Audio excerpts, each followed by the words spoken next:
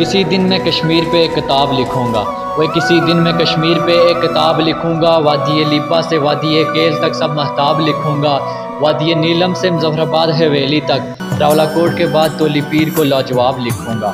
पंजोसा त्राट खल भी काबिल दीदार निकला। सुबनूती में पलंदरी एक बाग लिखूँगा। लिखूँगा कोटली से नक्याल खोई रट्टा तक। मीरपुर में आकर शदाब लिखूँगा। सफ़र तहवील के बाद लौटूँगा जब अपने शहर पतन शेर खान में।